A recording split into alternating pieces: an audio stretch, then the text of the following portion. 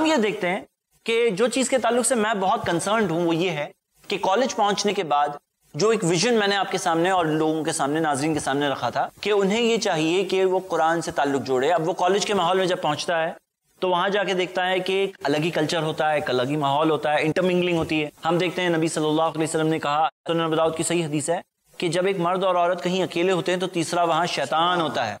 अब यहाँ पर एक इंटरमिंगलिंग का माहौल जहाँ पे कुरान ने सिखाया, या गुद्दो में नफसारहीम अपनी नज़रों को नीची करो।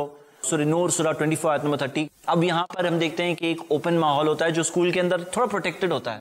स्कूल के टाइम पर जो टीचर जो होता है, कई बार एक मेंटर का काम करता है। कई बार एक टीचर जो है वो थोड़ा कंसर्न होता है, फिक्रमंद होता है।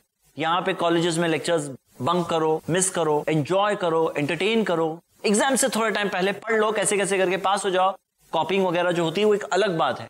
तो हम देखते हैं इसी का एंड रिज़ल्ट वहाँ पे हमें फाइनली जॉब सिनेरियो में दिख रहा है। अब यहाँ पर एक मुस्लिम बच्चा भी है तो हम उसे ये कहते हैं कि डोंट लूज फोकस आप एक ईमान वाले हो अपने अल्लाह पे ईमान लाया है अपने आखिरत पे ईमान लाया है।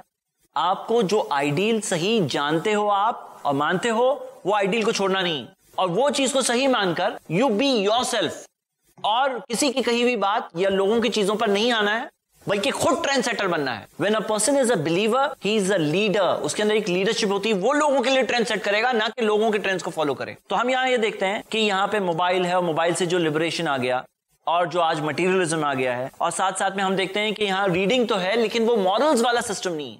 जहाँ पे इस्लाम भी साथ में सिखाया जाए या दीन का भी कनेक्शन हो, वो चीज़ छूटने लगती है। तो यहाँ पे वो रूट्स बहुत इंपॉर्टेंट है।